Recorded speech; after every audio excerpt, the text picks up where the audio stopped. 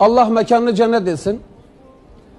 Sayın Dündar Kılıç bir gün oturuyoruz. Dedi ki hata yapmam dedi özür de dilemem.